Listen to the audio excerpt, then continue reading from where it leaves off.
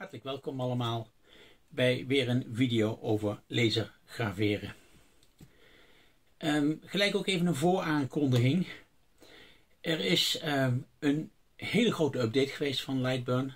Versie 1.5.00 en alweer opgevolgd door 1.5.01. 001.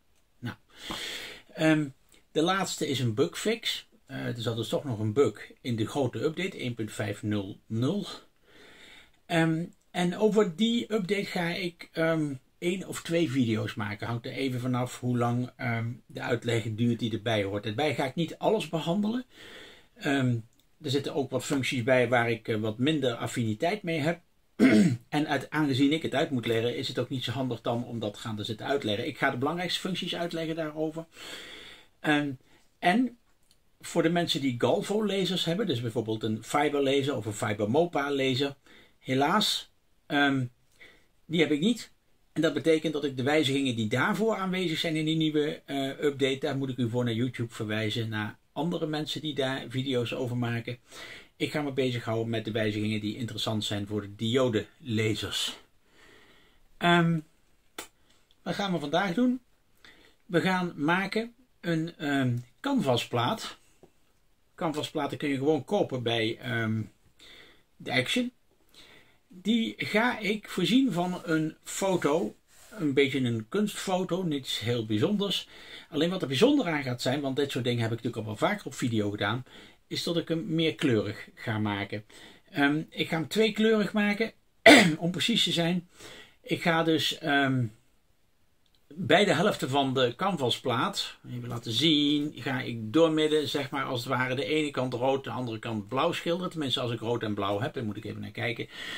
Um, daarna, ik ga het trouwens twee keer doen, hè. Dat, is, dat is wel goed voor de, voor de dekking. Dus twee keer rood, twee keer blauw. Um, daarna, als dat allemaal droog is, ga ik dat uh, twee keer met zwart overspuiten. En uh, vervolgens ga ik de afbeelding, maar dat ga je in het proces zo meteen zien natuurlijk, ga ik de afbeelding in Imager bewerken. Um, eigenlijk gewoon standaard, zoals ik dat bij een andere canvasplaat, als ik gewoon zwart-wit gebruik, ook zou doen.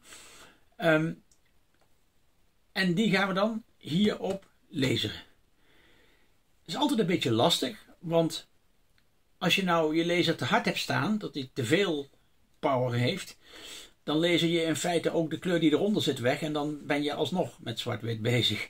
Dus het is altijd even de, de, de goede setting zien te vinden waarbij die wel het zwart wegleest, maar de kleur achterlaat die je eronder hebt zitten, zeg maar, als het ware. Dat is even de kunst. Um, dat ga ik toch proberen. Um, hoe het uitpakt, gaat u zien. Uh, ik ga namelijk normale settings gebruiken die ik normaal ook voor een zwart-wit uh, uh, canvas gebruik. En dan gaan we zien hoe dat hier op deze canvasplaat terecht gaat komen. En dan verderop in de week zal ik mij gaan bezighouden met die video of video's, dat kan ook, um, aangaande die update van Lightburn. Mocht u die update nog niet binnen hebben gehaald, haal hem gerust binnen. Uh, u krijgt als goed is op dit moment dus 1.5. 01. Um, dat is de huidige versie. En als u uh, een betalend lid bent van Lightburn, dan zou ik zeker niet nalaten om dat gewoon te doen. Want uh, als daar bugs in zitten, Lightburn is bijzonder snel met bugs op te lossen. Goed, we gaan het proces in van de canvas. Alvast heel veel plezier met de video. De eerste uh, laag zit erop. Je ziet dat hij niet helemaal recht is, maar dat maakt niet zo heel veel uit, want uiteindelijk gaat het erom wat er straks uitkomt en dat hoeft niet helemaal heel erg uh, strak te zijn. Dus vandaar dat ik nu eerst de eerste laag heb gedaan, rood rechts, blauw links, zometeen een tweede laag eroverheen en dan laten we dat drogen tot morgen en dan gaan we zwart erop spuiten. Okay, de volgende stap is, is dat we de plaat nu in zijn geheel zwart gaan spuiten. Dat gaan we twee keer doen, zodat we hem goed dekkend hebben. Uh, niet meer dan dat, want dat moet het, natuurlijk moet dat zwart weggelezen worden, dus te veel is ook niet goed. Dus twee lagen uh, zwarte spraypaint ga ik er overheen spuiten Eerste nu. laag. Tweede laag ga ik er straks overheen spuiten als die droog is. En dan is de plaat in elk geval klaar om gelezen te worden. Gaan we ons nu bezighouden met de foto en het bewerken daarvan in Imager. Om de foto die ik heb gedownload op Google, ik heb daar gezocht op Two Color Art, um, te gaan bewerken gebruik ik Imager. Ik heb laatst een keer van iemand de vraag gehad waarom ik nou het specifiek Imager gebruik. Je kunt dit natuurlijk ook absoluut regelen in Lightburn zelf, maar ik vind Imager best wel een makkelijke website. We zien het adres bovenin https www.imag-r.com um, Oké, als we naar beneden gaan in Imager, dan krijgen we hier um, een aantal regeltjes te zien. Eerst het uploaden. Dat gaan we eerst doen. Dat is de foto in kwestie. Um, omdat we gaan lezen graveren, kiezen we altijd voor de grayscale versie. Waarom zouden we een gekleurde versie kiezen? Is niet zo interessant. Ik kies daarvoor de foto 2 kleur die ik heb gedownload. Dan moet ik even kijken of dat nou goed gaat. Even zien of ik gelijk heb. Ja, dit is die. Je kunt het zo niet zien, maar het zijn twee kleuren. Het is rood en het is blauw. Um, dit gaat natuurlijk straks corresponderen met de uh, plaat, de canvasplaat die ik rood en blauw geschilderd heb. Um, Oké, wat we nu gaan doen, we gaan crop kiezen.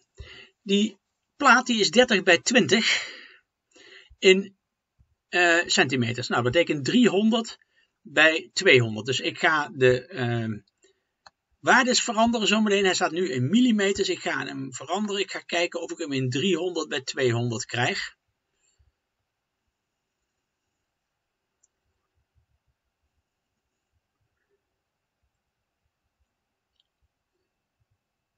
Zo. Prima. Um, natuurlijk is dit het nog niet, want ik wil die foto wel een beetje netter gecentreerd hebben natuurlijk. Dus dat ga ik nu doen. Ik ga dit oppakken. En ik ga dit lekker zo in het midden doen. Hoppatee. Klaar. Um, dat gedaan hebbende, zeg ik van doe maar crop. Oftewel, maak de foto kleiner. Dat is eigenlijk wat hij doet, zeg maar weer naar beneden ga, dan hebben we hier de, de, de afbeelding die gecropt is. Uh, stoor je niet aan de reclame. Imager is nu eenmaal een gratis programma, dus je krijgt allerlei reclame in beeld. Dat is niet anders.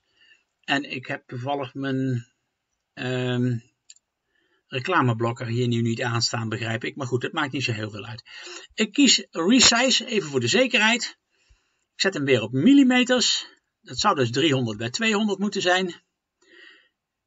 300 bij 200 en ik ga de dpi wat opschroeven naar het maximum voor jouw laser. Daar heb ik wel eens een video over gemaakt hoe je dat kunt vaststellen. In mijn geval is het 254 dpi. Vaak kun je het ook op de website van de maker terugvinden. En ik klik oké. Dan kan je nog wat spelen aan de linkerkant hier met gamma en contrast en brightness. Ik ga daar nu lekker vanaf blijven. Kan wel, ja, daarmee kun je zeg maar, eh, zeker bij gewone foto's, net iets meer eruit halen. Maar in dit geval gaat het om iets van art en dat soort dingen meer. Dan uh, kan je tekst toevoegen, gaan we ook niet doen, maar ik ga wel naar materiaal. En dat is een belangrijke.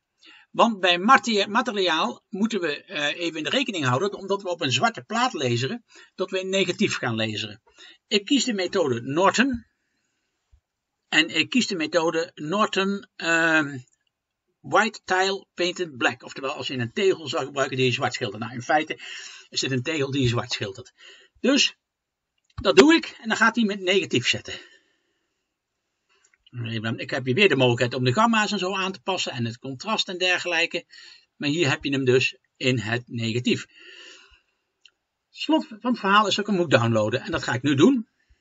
Ik download hem in de hoogste kwaliteit. Dat is een PNG. En ik zet hem zo lang even op mijn bureaublad neer. Even kijken, op mijn bureaublad zei ik, waar ben je? Even zien. Oh, desktop heet het. Ja, dat is in het Engels desktop natuurlijk. Haha, slimmerd. Oké, nou daar staat hij. En dit is de voorbereiding van de foto voor het gebruik in Lightburn. Oké, dan zijn we nu in Lightburn. En in Lightburn um, beginnen we met een rechthoek te maken. En die rechthoek hoek heeft de grootte van de plaat. Dat wil dus zeggen, um, hier bovenin breedte van 300 en hoogte van 200. Zo.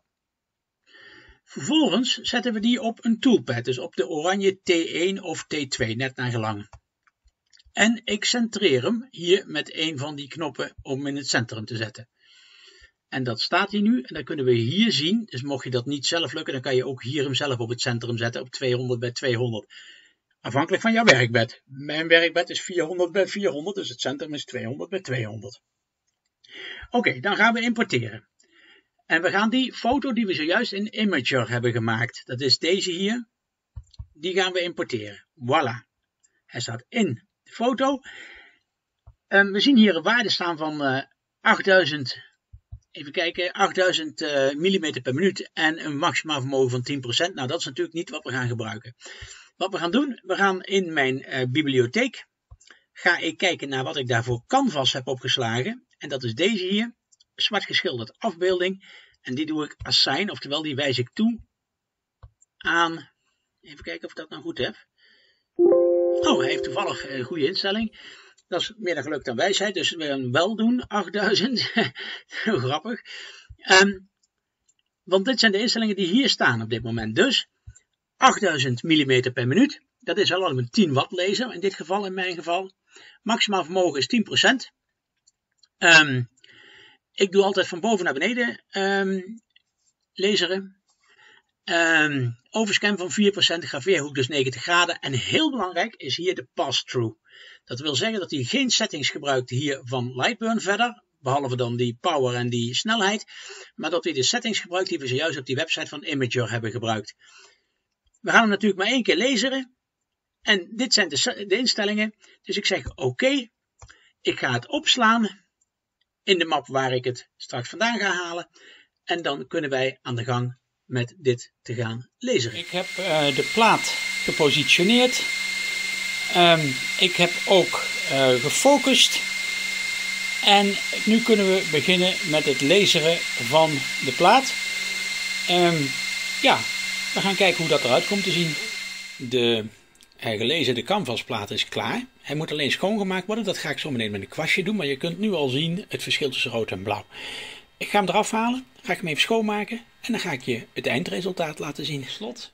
Um, heb ik je niet laten zien, maar is wel gebeurd. Ik heb er transparante lak overheen gespoten.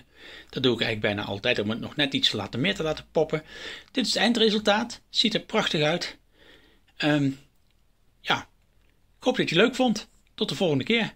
Dag.